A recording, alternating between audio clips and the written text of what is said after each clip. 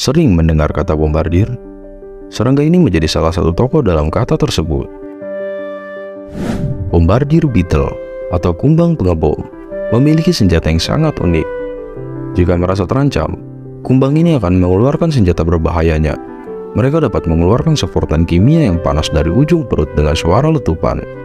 Panas dari reaksi membawa campuran mendekati titik didih air. Hal itulah yang menjadikan hewan ini disebut sebagai kumbang pengebom. Di dalam perut kumbang pengebom, ada dua ruangan terpisah yang dipenuhi bahan kimia untuk melakukan aksinya. Kedua cairan tersebut akan tercampur ketika kumbang tersebut menyemprotkannya keluar. Dan saat momen itu terjadi, cairan tersebut bersatu dan menjadi cairan yang sangat panas. Lapisan mirip baja yang melindungi tubuhnya membuatnya kuat menahan cipratan panas yang keluar dari dalam tubuhnya.